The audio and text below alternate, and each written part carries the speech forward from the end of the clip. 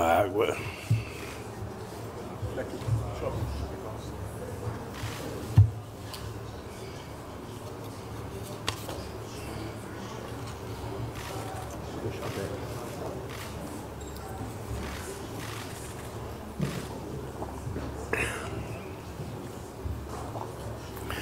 Excelentíssimo Antônio Costa, primeiro-ministro da República Portuguesa, meu caro João Gomes Caravinho, ministro de Negócios Estrangeiros de Portugal, Luísa Salgueiro, presidente da Câmara de Matozinhos, empresários portugueses, empresários brasileiros, empresárias, portuguesas e empresárias brasileiras. Querido ministro Mauro Vieira, ministro das Relações Exteriores do Brasil, José Múcio, ministro da Defesa, que me acompanha nessa viagem, Nida Trindade, ministra da Saúde, que me acompanha, Luciana Santos, ministra da Ciência e Tecnologia, Márcio Macedo, secretário-geral da Presidência, senhora senadora Leila Barros, senadora da República, deputados federais Marcelo Queiroz, Lício da Mata, Jandira Fegali, Júlio Lopes, Newton Cardoso Júnior, Denise Pessoa, Gervásio Maia, Átila Lins e Gabriel Mota. Deputados de vários partidos políticos, dando a demonstração de que o Brasil está voltando à civilidade. Estamos fazendo democracia da forma mais plural que um país pode exercer.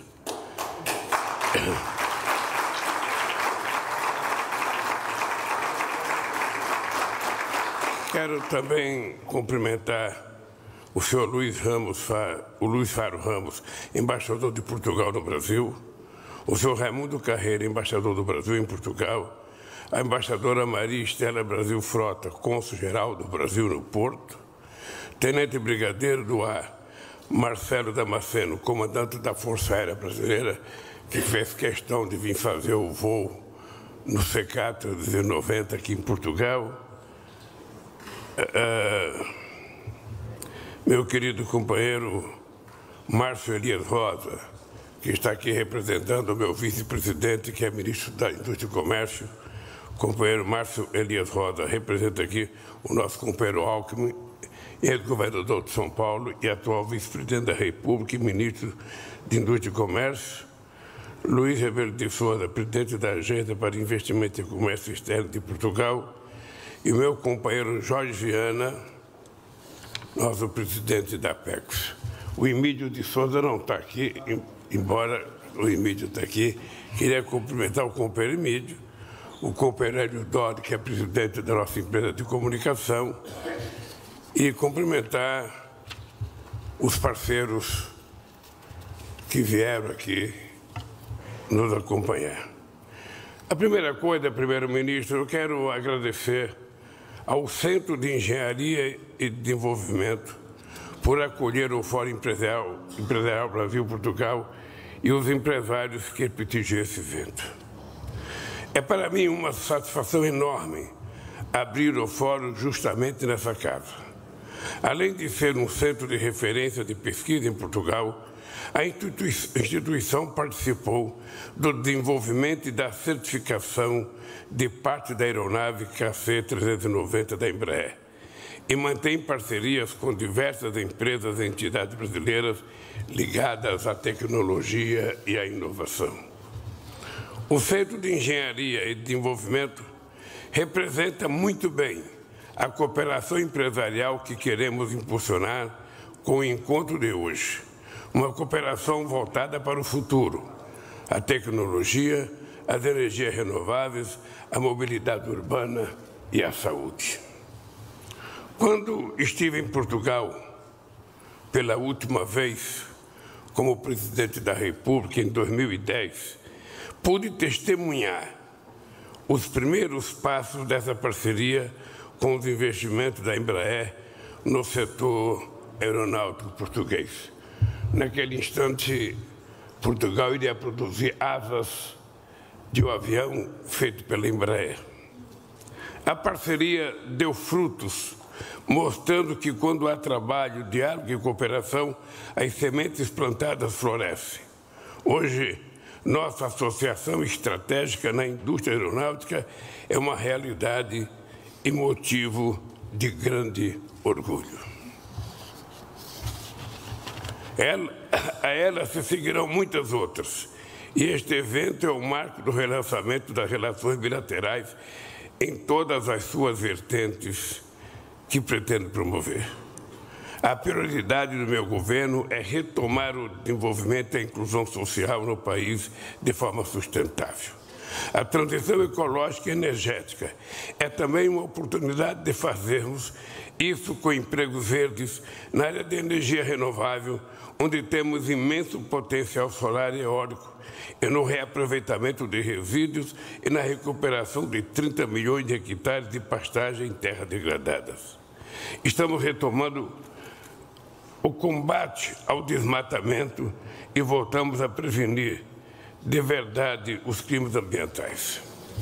Quando no Brasil nós falamos que o Brasil voltou, é porque o Brasil esteve afastado do mundo praticamente durante seis anos. Durante seis anos, o nosso país foi recusado por outros países e os outros países também recusavam o Brasil. Vocês se lembram que o Brasil não recebia nenhum presidente e o nosso presidente não viajava para nenhum país, porque ninguém tinha nenhum interesse em conversar com pessoas que não se comportavam de forma muito civilizada. E quando nós falamos que queremos dizer que o país voltou a ter um governo que trabalha, dialoga com a sociedade e com o mundo todo, e que constrói o futuro do país. Apenas em três meses deste ano, a gente investiu mais em educação do que o governo passado, todo o ano passado. Em apenas três meses. Em apenas esse ano, nós vamos investir na área de infraestrutura 23 bilhões de reais, o que significa quatro vezes o que foi investido em quatro anos do outro mandato. Ou seja, significa que o nosso país ficou parado. Significa que o nosso país não andou. Significa que o nosso país não fez aquilo que qualquer presidente ou qualquer governo tem que fazer, que é estabelecer relações, convencer as pessoas da importância do Brasil, da qualidade do Brasil. E para que um presidente da República possa visitar outros países e atrair capital externo, o país tem que ter três componentes básicos. Primeiro, o presidente tem que oferecer estabilidade política, estabilidade social, estabilidade jurídica. Essa é uma coisa sem a qual nenhum investidor irá colocar dinheiro em outro país. Se você não tiver estabilidade social, estabilidade política, estabilidade jurídica, ninguém vai colocar um centavo no seu país. A segunda coisa que você precisa colocar para convencer as pessoas é credibilidade. E credibilidade você só tem se você tiver relação direta com as pessoas. No Brasil, nós não vamos vender empresas públicas. O que nós queremos é convidar os empresários a fazerem parceria conosco naquilo que a gente precisa criar de novo. No Brasil, nos últimos seis anos, se vendeu muito patrimônio público, não para construir outro patrimônio ou para construir outro ativo. Se vendeu patrimônio para simplesmente pagar juros da dívida pública. Ou seja, nós nos desfizemos do nosso patrimônio, o nosso patrimônio ficou menor e a qualidade do serviço não melhorou. Eu vou dar, primeiro-ministro, um exemplo para você do que aconteceu no Brasil. Nós privatizamos a nossa maior empresa de energia elétrica, que era a Eletrobras. A Eletrobras é uma empresa muito grande. Ela foi vendida por 36 bilhões de dólares, se não me falha a memória. Quando essa empresa foi vendida, A primeira coisa que a diretoria da empresa fez foi aumentar o salário da diretoria de 60 mil reais por mês para 360 mil reais por mês. Se você quiser ver apenas um absurdo, eu agora tenho que indicar um conselheiro para essa empresa. Um conselheiro dessa empresa, para trabalhar uma vez por mês, ganha 200 mil reais. Essa é um, apenas uma demonstração da disfarçatez do que aconteceu no Brasil nesses anos de obscurantismo. E nós voltamos a governar esse país, primeiro-ministro, para tentar recuperar. Quando nós deixamos a presidência, o Brasil era a sexta economia do mundo. O Brasil voltou a ser a décima segunda economia do mundo. A décima segunda. O Brasil era o país considerado um país da oportunidade por quase todos os países do mundo. Nós chegamos a ser o país que mais recebia investimento direto, sabe, de outros países. Isso o paralisou. Então, a minha volta, e quando a gente fala o Brasil voltou, é porque nós queremos efetivamente fazer com que o Brasil volte a ter a importância que ele sempre teve. E para ter importância, o presidente do Brasil precisa viajar. O presidente do Brasil precisa chamar e convidar outros presidentes. Os nossos empresários precisam viajar.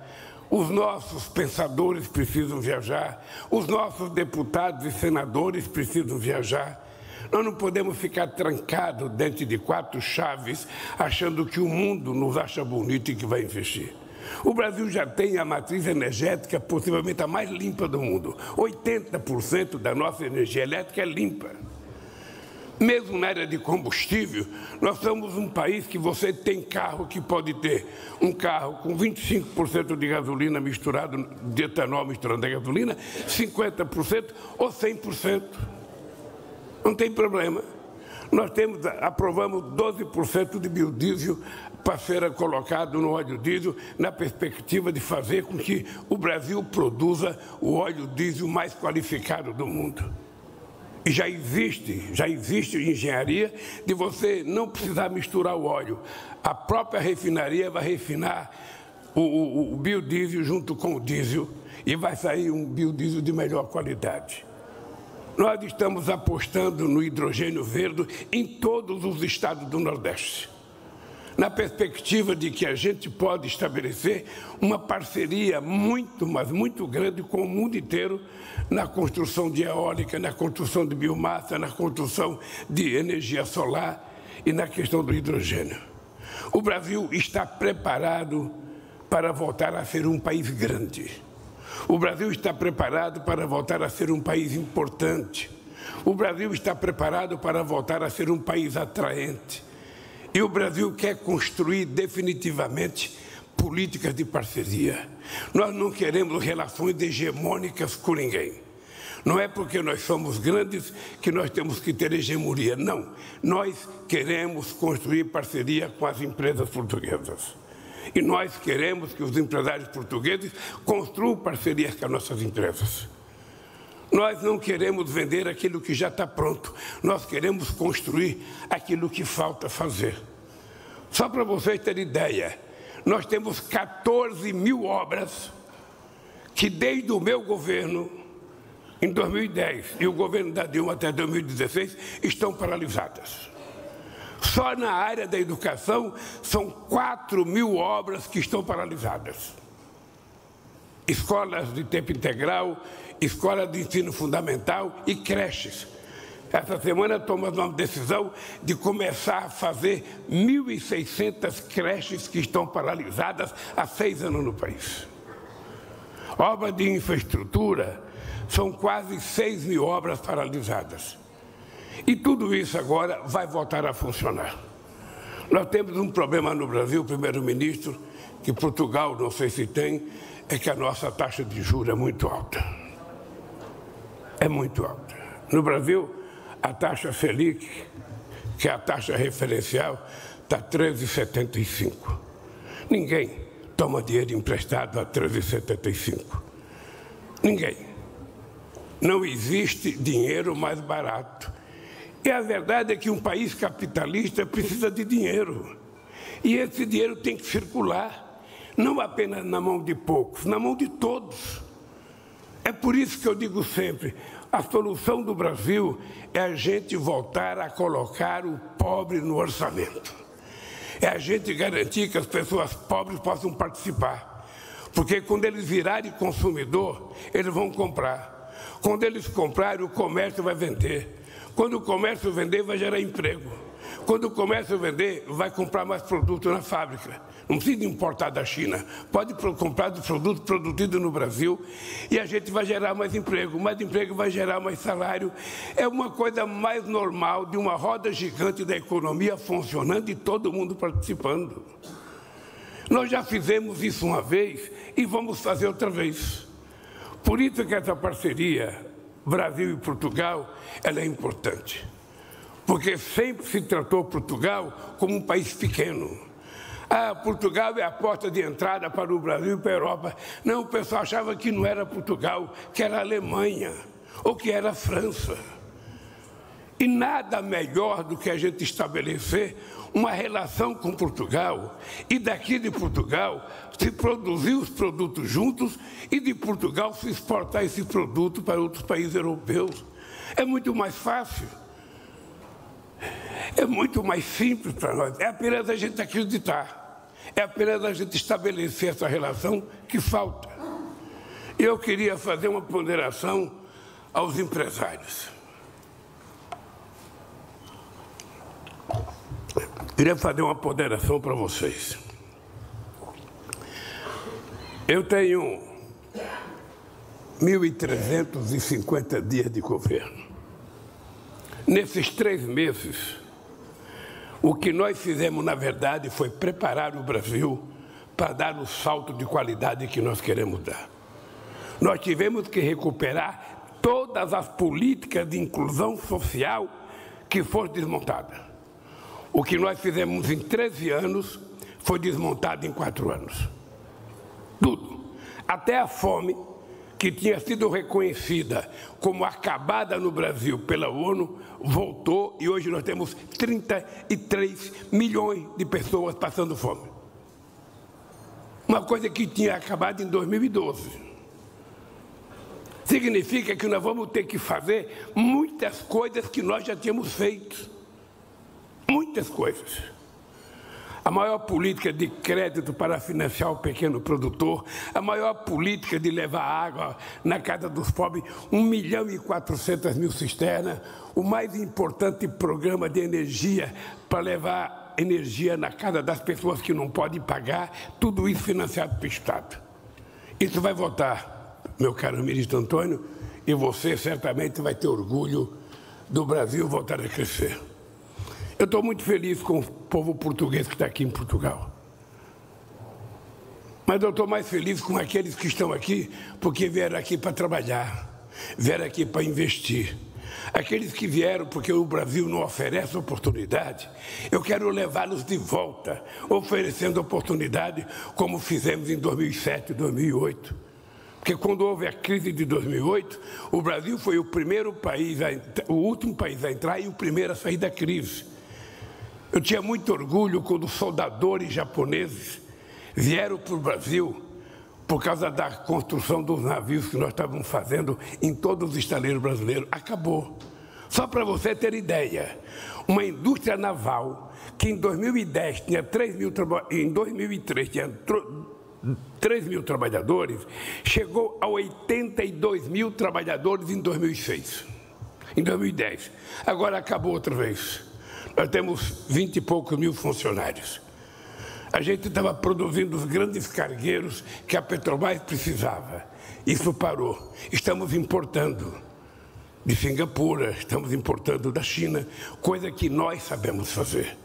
Nós temos estabelecido no Brasil que 65% dos componentes desses navios, dos componentes da plataforma, dos componentes da sonda, seriam todos produzidos no Brasil.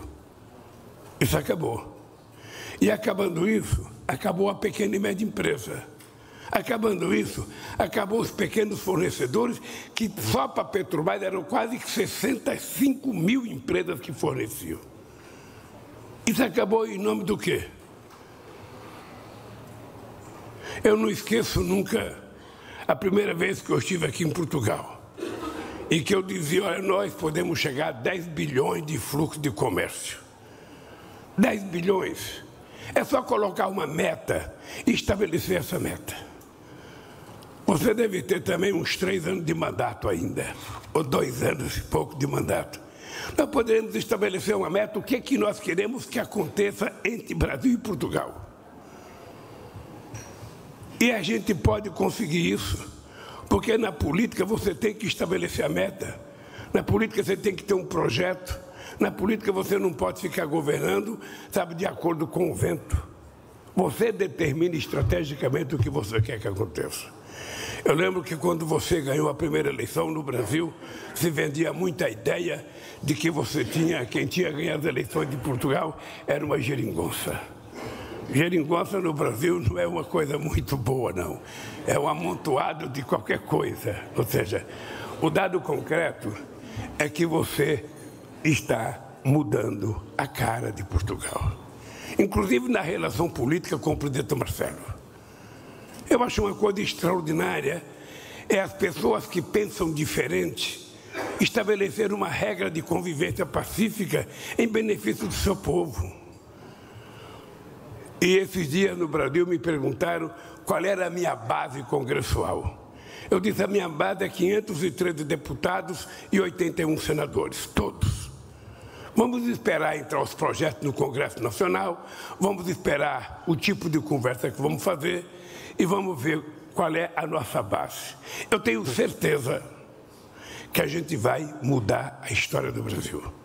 E eu tenho certeza que o gesto que nós estamos tendo hoje aqui, nessa empresa de engenharia, vai produzir frutos extraordinários para Brasil e Portugal.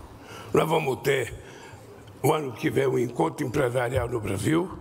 Eu espero que você esteja presente, espero que o presidente Marcelo possa comparecer, para que a gente não deixe cair o estímulo que nós estamos tendo aqui. Ontem, a pedido do embaixador português, eu pedi para o Jorge Viana, vamos fazer uma agência da Apex em Lisboa. Por que só em Genebra e não em Lisboa? Lá em Genebra o cara tem que falar o inglês ou o francês. Aqui não, aqui o cara fala português e ele pode vender as nossas coisas e comprar as coisas de Portugal com muito mais facilidade. Por isso, Jorge Viana, por isso, companheiros portugueses, obrigado por essa oportunidade. O Brasil está de volta, sabe? Está de volta para ser protagonista internacional. É por isso que eu estou me dedicando, inclusive, em tentar parar de falar em guerra e construir a paz para que a gente possa produzir para a humanidade viver melhor. Um abraço e obrigado pela oportunidade.